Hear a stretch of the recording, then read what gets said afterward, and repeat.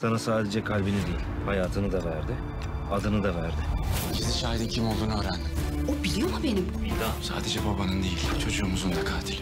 O cani her kimse inanıyorum ki yakalanıp cezasını çekecektir. Sen ölene kadar içeriden çıkamazdın ama çıktın.